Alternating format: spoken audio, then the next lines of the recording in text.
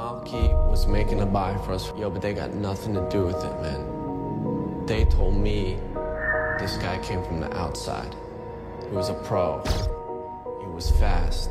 He fucking came out of nowhere. Boom, dead in two seconds. Easy, man. I'm a cop. Then turns around and says something to Malky like, No women, no kids. Let's go. First off, I need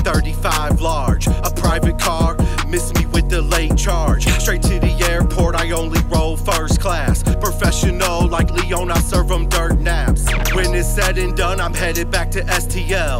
And you know I always aim to please my clientele. Never took a job I knew I couldn't complete. I hear me say some shit you definitely shouldn't repeat.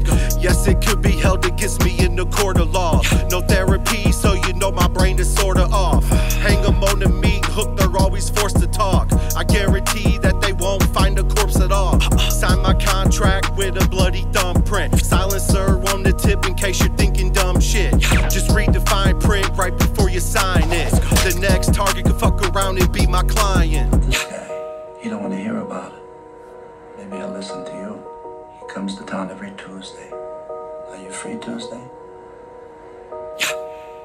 Yeah, I'm free Tuesday. Let's go. Quick fast forward, bitch. Check my passport. Fuck the task force, No text message, each call under eight seconds. Another burner cell tossed in the riverfront. On the next flight out, but first, let's twist a blunt. Stick 'em up, get 'em up, I just can't get enough. Put it on the track, let Hypno Hop mix it up. I'm finna bust on any motherfucker stepping up. Put the pump to his nuts and show him he don't measure up. I'm so generous, they found his head stuffed in a trunk. At the bottom of the lake where no one really forget to burn the evidence on the way home. I'm no featherweight, bitch, check my resume. Got more kills than Leatherface, won't hesitate to set you straight.